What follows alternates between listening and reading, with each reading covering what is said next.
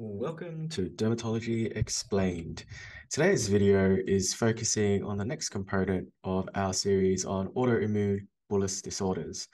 In particular, we'll be discussing the desmoglein compensation hypothesis and how it relates to pemphigus vulgaris and pemphigus foliaceus. Just as a recap, this is a lovely diagram and schematic from Dr. Stephen Chen, who often posts extremely insightful and useful tweets online with regards to dermatology topics. If you haven't come across his profile before on Twitter, I highly recommend you check it out. And in his posting here, we've got a schematic of two keratinocytes and they're interacted with each other via these junctions known as desmosomes. There's also an interaction between the keratinocytes and the basement membrane with hemidesmosomes. Within the desmosomes, as we've already previously discussed in our other videos, there are multiple molecules which can act as potential targets for different bullous disorders. Some of the key ones in the desmosome include desmoglein 1 and 3, but there's also desmocollin, plakoglobin, and desmoplakin. Within the hemidesmosomes, there are other targets such as BPAG1, BPAG2, plectin, integrin, collagen 7, and laminin, and those are the targets often seen in subepidermal bullous disorders. In terms of pemphigus foliaceus, its key target is desmoglein 1. Pemphigus vulgaris mucosal form, key target is desmoglein 3. And in pemphigus vulgaris mucocutaneous form, the main targets are desmoglein 3 and Desmond desmoglein 1. So what are some questions about different forms of pemphigus?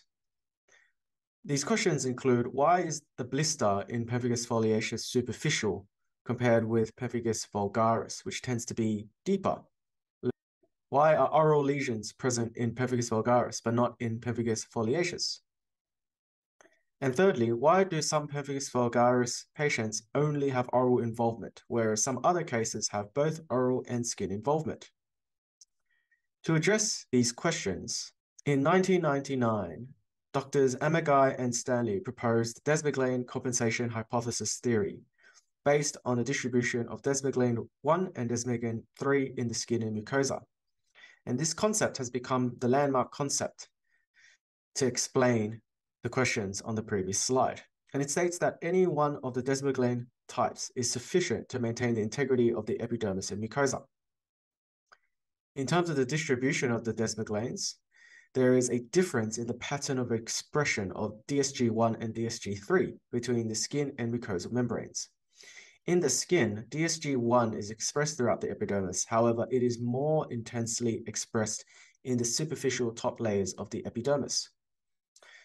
DSG3 is expressed in the lower portion of the epidermis, primarily in the basal layer and just above it.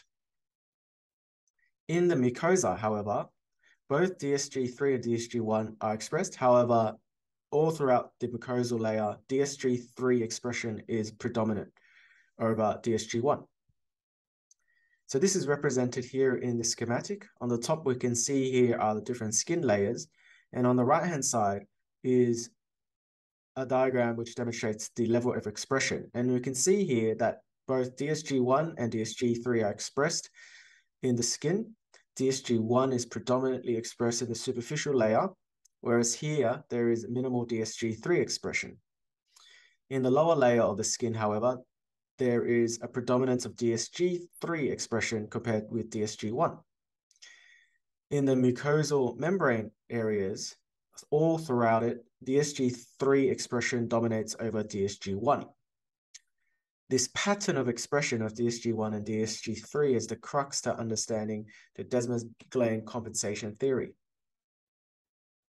So we will now use this theory to explain the presentation of various forms of pemphigus.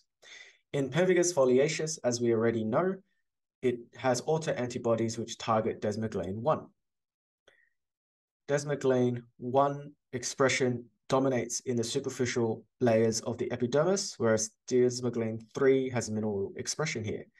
Therefore, when you have autoantibodies which target desmoglein 1 here, the skin is affected, it results in acantholysis, and you get a split in the superficial surface. In the deeper layers of the epidermis, there is ample desmoglein 3 expression, which compensates for any desmoglein 1 which is targeted by autoantibodies.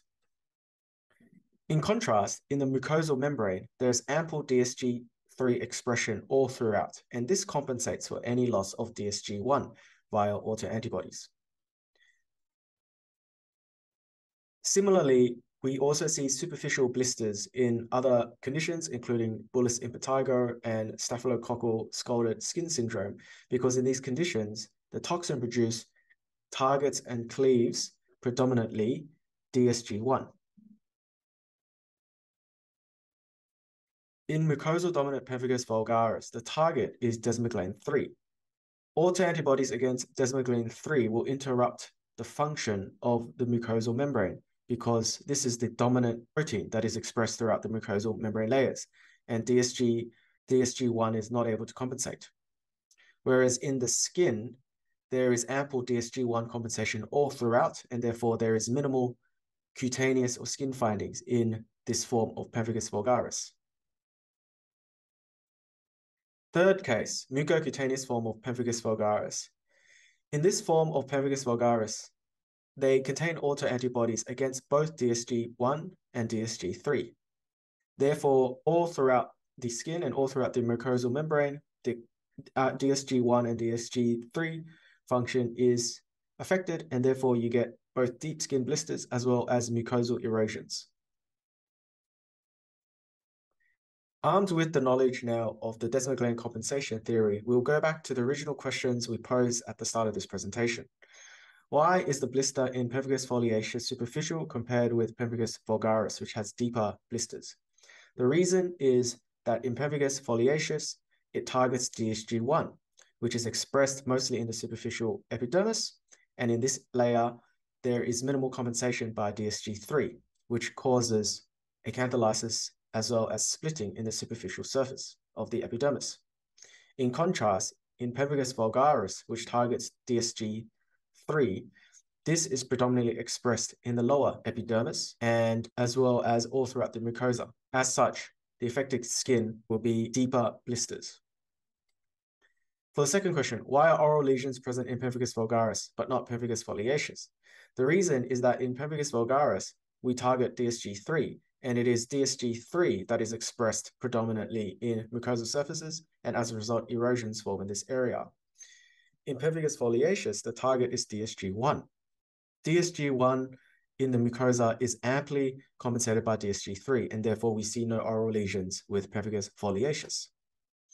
For the third question, why do some pemphigus vulgaris cases have only oral involvement compared with some other pemphigus vulgaris cases which involve both oral and skin findings? The reason being is that some pemphigus vulgaris cases only target DSG3, and in these cases you see only oral lesions, and in some other pemphigus vulgaris cases, it targets both DSG3 and DSG1, and therefore you have mucocutaneous findings for both. I hope you've enjoyed this video presentation focusing on the desmoglein compensation theory and its relevance to pemphigus vulgaris and pemphigus foliaceus. If you found this video useful, please check out our YouTube channel, Dermatology Explained, for other similar videos. We look forward to meeting again next time.